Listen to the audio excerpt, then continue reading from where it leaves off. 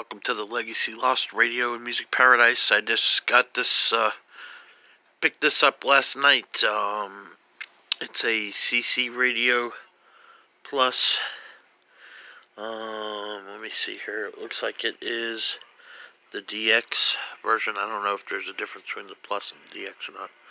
But, uh, anyway, picked this, uh, radio up, uh, yesterday for would you believe, uh, $20. Um, and that's including, the $20 is including a twin ferrite coil antenna. Here, I picked this up as well, so I got the, uh, the power cord and everything. The only thing that's missing is the little phono to, uh, with the twin lead adapter, which I can make myself if I need to be. Um, but, uh, came with that $120 antenna if you were to buy that new. That's what they go for. And then the radio here is uh, very interesting. Uh, it is uh, got a couple little quirks. These buttons kind of you press. You have to press them real hard to get down. And I don't know if that's like a, an issue. I was reading on some of the forums. The display works fine on this one. It's got um a light on and off for it too. I don't know if you can see that or not with the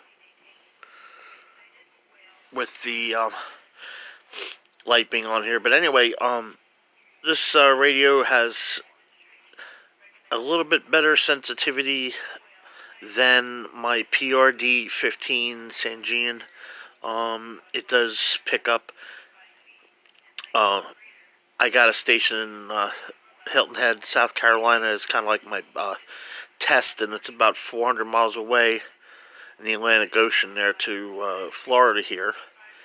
And I can pick it up. It's only a thousand watts. It's 1130 the uh, the island, and I'm picking it up uh, pretty good.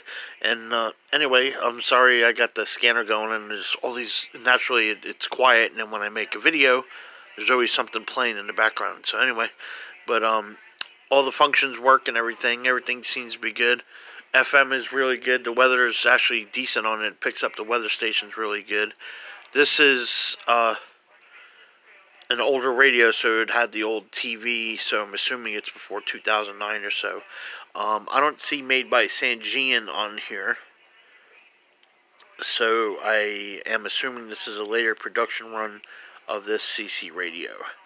But anyway, um, let me just give you a little test here of the uh, the audio capabilities here. And this station here is uh, about uh, 20 miles away here. This one.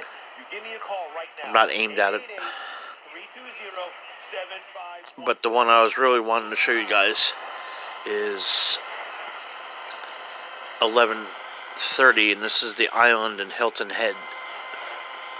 South Carolina's here. Hold on one second. That's a 1,000 watt station and 1 kW, 400 miles away in the daytime. And it's just amazing the, the quality of the uh, sound and the sensitivity. I'm not really aimed at it all the way either. So anyway, awesome radio. Got a good deal on it.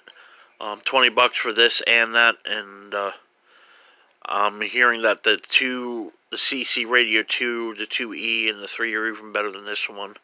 So uh, I can only imagine how much, uh, how, what an excellent product this is. So uh, for as old as it is and for what I paid for it, it is uh, an amazing find. So I've been patient. I haven't done much radio stuff, but I found this on uh, Marketplace, and the lady had it for $100 and dropped it to 20 and I jumped on it. So anyway, thanks for watching 73.